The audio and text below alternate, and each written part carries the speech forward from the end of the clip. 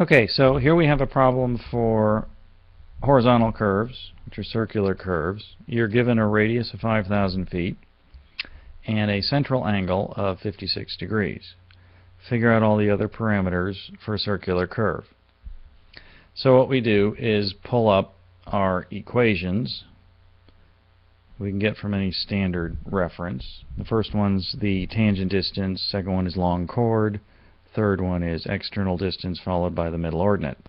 So just crank those out, straight, simple, kind of a thing. When we get to the length here, L, what we're looking at is the lineal distance along the arc. And the equation for that, as you can see here, the equation is the radius times the central angle, the two things that were given to us. But if we just multiply those straight, we get strange units. We get foot degrees, and that doesn't mean anything. So we have to convert the degrees into radians, and that's what this term is. And so we wind up with 4886.92. Now I wanted to show you this one because it's kind of uh, necessary that I step you through at least these bits. But I really want to move into the next piece, which is kind of a demonstration of stationing. Okay, stationing. So let me change my drawing to a color here. So for that same curve that we were looking at, the distance between the point of curvature and a point on the back tangent with the station of 152 even is 7821.20. Find the station of the PC and PT. Now your first thing that you say is, well, where's my sketch? You don't get one. Okay, you have to draw this thing. So in my solution, I've done this. I've actually interpreted what they've given me. So what this thing says is that I have a curve, I have some tangents, they tell me that there's a point on the back tangent. So what I'm going to do is figure out stationing, and I'm just arbitrarily going to say that stationing goes left to right in this direction, which means I'm going to put my point of curvature here, my point of tangency or end curve right here. I'm also going to note that the problem statement, if I can back up to it, says distance between the PC right here and a point on the back tangent. Now the back tangent is this piece here because it is back station.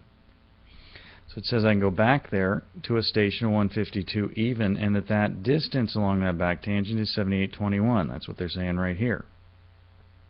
They would like me to now find out what the station is at the PC and then they want me to figure out what the station is over here. So I just drew this up. So here's what I did. I'm taking the given 152. I'm going to add on this distance but in stationing notation. Now remember a station is 100 feet. So how many stations do I have here? 78 plus a little bit more, right? So I'm going to take the 152 plus 0, 0.00 that I'm given. The tilde here is shorthand for plus zeros. Okay, So I just extend those out. I'm going to take 78 plus 2120 because that's what this uh, value is in stationing notation and sum them up. So the station of my PC is 230 plus 2120. Now I have to figure out the station at my end curve or point of tangency point here. How do I do that? Well, on a horizontal curve, a circular curve, the stationing is along the arc itself. So if I knew how long that was, I could just add that on to station 230 plus 2120. That length there, I actually do know from the previous problem. It is right here in red. It is 4886.20, or 4886.92, I beg your pardon. So, returning, I'm going to take my 230, 2120, which is this guy here.